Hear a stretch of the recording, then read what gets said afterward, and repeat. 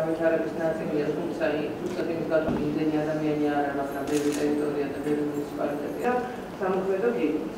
ვეცადეთ რომ ნაგვიერთი საქართველოს 80% არის თითქმის 80% არის მაღალმთიანი რეგიონი. თელიანად საქართველოს. ამდენად მნიშვნელობაზე ლაბარაკი ზედმეტია. ეს იყო შეხვედრა, რომელიც ქვეყანას მიეძღვნა, ქვეყანას, ქვეყნის პრობლემებს, თის დაცარიელება საქართველოს გაღატაკებას და ისეთ მნიშვნელოვან შემცირებას კი არა ფუნქციის დაკარგვას გამოიწვევს.